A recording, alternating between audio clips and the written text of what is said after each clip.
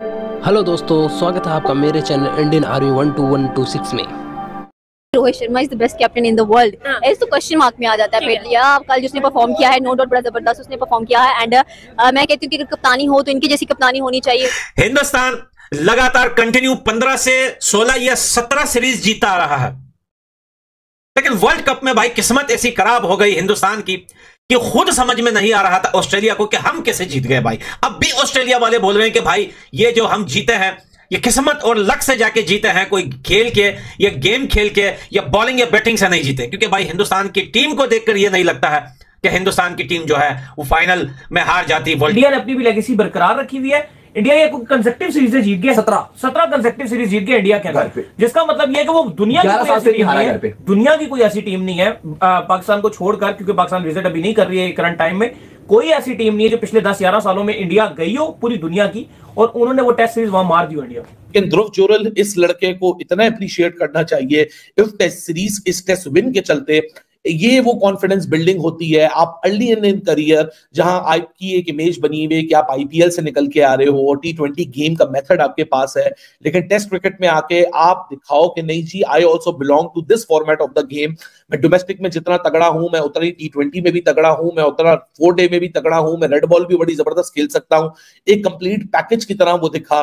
और तारीख की मतलब टेस्ट क्रिकेट की तारीख की यार एक नया भाव रकम कर दिया रोहित शर्मा ने अपनी कप्तानी में कि सत्रह अपने अपने अपने अचीवमेंट है यार ये मज़ाक मस्ती अपनी जगह भाई हाजमा खराब हो जाए लोगों का सुन के कि सत्रह भी सीरीज़ कोई फाइनल लग गए उसको दो वरना उसके अलावा उसने पागल किया हुआ दुनिया को। आप अंदाज़ा लगा लीजिए फाइनल दो दफ़ा टेस्ट चैंपियनशिप का फाइनल फिर वर्ल्ड कप का फाइनल फिर एशिया कप का विनर रोहित शर्मा तो आप सक्सेस स्टोरी अगर निकालेंगे तो ये टेस्ट वर्ल्ड टेस्ट चैंपियनशिप की साइकिल आप देखेंगे यही ऐसी कुछ है जहाँ पर आपको थोड़ा बहुत मिलेगा। इवन वर्ल्ड कप भी आपका बड़ा ज़बरदस्त रहा है। उस एक मैच को शायद लोग माफ़ करते हैं फैंस नहीं करते यार। साइकिल पे बिठा के इंग्लैंड भेज दिया उसने माइकल वॉन को साइकिल पे बिठा के नासिर हुसैन को वापस भेज दिया। आज से साले ये दोनों आज मिलकर क्या नाम है माइकल वॉन सुबह से गुड मॉर्निंग से जो उसने अपने ट्वीट शुरू किया है। और दोपहर तक उसको एक घंटे के बाद तक उसको लग रहा था कि अब ली इंग्लैंड ने और अब ली मतलब ऐसी ली पकड़ के शिमन गिल ने। मैं मैं मानता हूँ उसको यार देखे यार हमने बहुत उसके ऊपर बोला जडेजा पे हम बोलते हैं अश्विन पे बोलते हैं वजह ये ये मैं आपको बताऊँगा तो रोहित शर्मा किस पे रिलाई कर रहे थे ये मैं आपको बात पर भी बोलते हैं भाई। और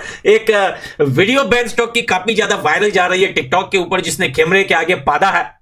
दो पद मारे हैं उसने कैमरे के आगे, और आपस में ड्रेसिंग रूम में वो लोग हँसी मज़ाक कर रहे हैं। तो बैन स्टॉक ने जो है वो आके कैमरे के आगे जंप मार के जो है उसने दो जो है पाद मारे हैं।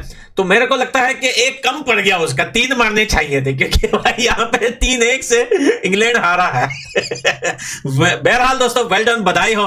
कॉन्ग्रेचुलेशन और स्पेशली रोहित शर्मा, वाकई में एक बहुत अच्छे और ज़बरदस्त कैप्टन है इस वक्त हिंदुस्तान की टीम के लिए। ऑस्ट्रेलिया भी यही करता है कि अगर कोई टीम आती है, अगर वो जीत जाए ना तो उसके लिए वो बहुत बड़ी जीत हो जाती है। ये होना चाहिए। आपके यहाँ नहीं कि पाकिस्तान में जो आ रहा है, पहली जा रहा है, ऑस्ट्रेलिया आ रहा है, आपको पेल के जा रहा है, इंग्लैंड आ रहा है, आपको पेल के जा रहा है। अब इंडिया का भी यही है। इंडिया ने अपनी भी लेगेसी बरकरार रखी हुई है। इंडिया ये कंसेक्टिव सीरीज़ जीत गया। सत्रह। सत्रह कंसेक्टिव सीरीज़ जीत गया इंडिया के अंदर। जिसका मतलब ये कि वो दुनिया की कोई ऐसी टीम नहीं है। दुनिया की कोई ऐसी टीम नहीं है पाकिस्तान को छोड़कर क्योंकि पाकिस्तान विज़िट अभी नहीं कर रही है करंट टाइम में। कोई ऐसी टीम नहीं है जो पिछले दस ग्यारह सालों में इंडिया गई हो पूरी दुनिया की और उन्होंने वो टेस्ट सीरीज़ वहाँ मार दी इंडिया कोई उसको कवर भी नहीं कर रहा होता था लेकिन अब क्रिकेट पाकिस्तान में होती है ग्राउंड जैम पैक्ट होते हैं टेस्ट मैच फुल होते हैं मीडिया फुल होती है ग्राउंड फुल होते हैं लेकिन नतीजा आपके हक में नहीं आ रही। मैं इसलिए थोड़ा सा ये हो रहा है कि इंडिया की एक यंग यंग टीम थी।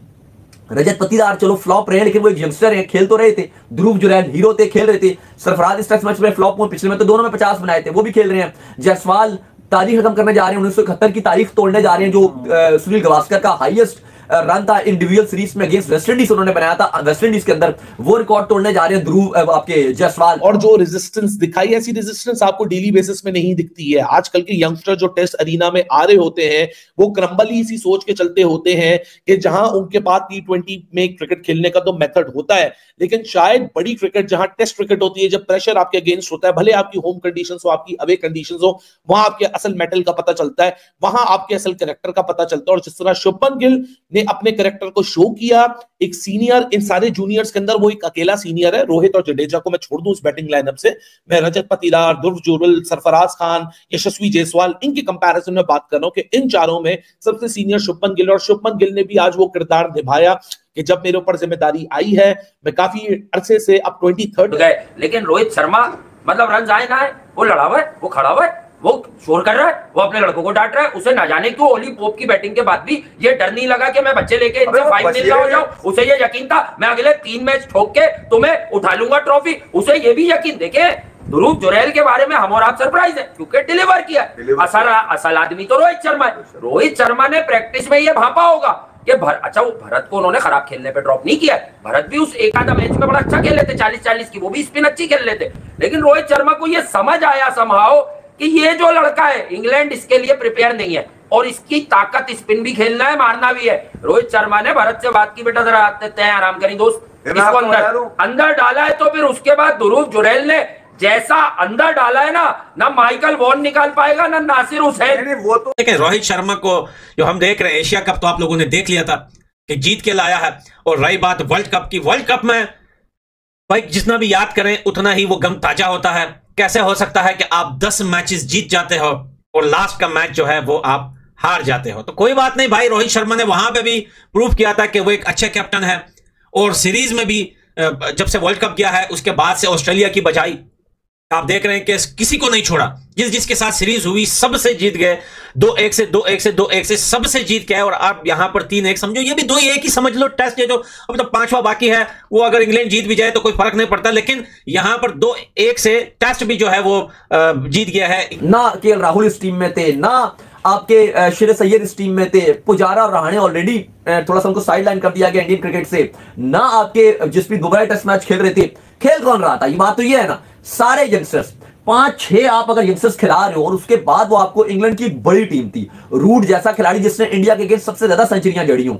एक बेहतरीन खिलाड़ी है रूट जॉय रूट वो खेल रहा था। स्टोक्स आज तक कभी सीरीज़ नहीं आ रहे अपनी कप्तानी में टेस्ट सीरीज़ कभी नहीं आ रहे वो इस टीम का कप्तान था बेरिस्टो इस टीम के साथ था। What a, an uh, outing that he has had. शायद स्कोर बोर्ड के ऊपर आपको इतने ज़्यादा रन्स नहीं दिख रहे शुभमन गिल के लेकिन शुभमन गिल ने जो 119 बॉलों तक अपने आप को रोक के रखा और 120वीं बॉल के ऊपर से शुएब बशीर के सामने स्ट्रेट ऑन पे छक्का मार के उसने अपनी एल ऐलान कर दिया that we are going for the victory that was an exact method to go forward and well done to team India against all the adversities against all the negativities against all the outside noise, against all the baseball making a comeback in the first test match.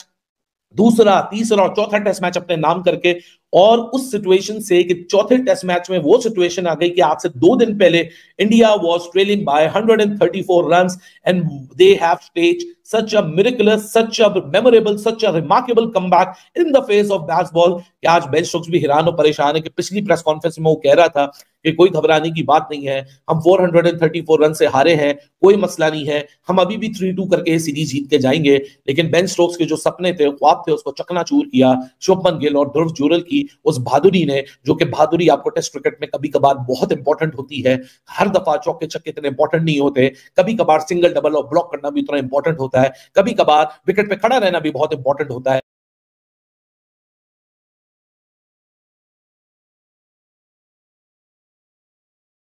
तो दोस्तों, आपने video देखा होगा। Video में बताया गया है कि किस प्रकार से भारत ने बड़ी मुश्किल हालात में भी इंग्लैंड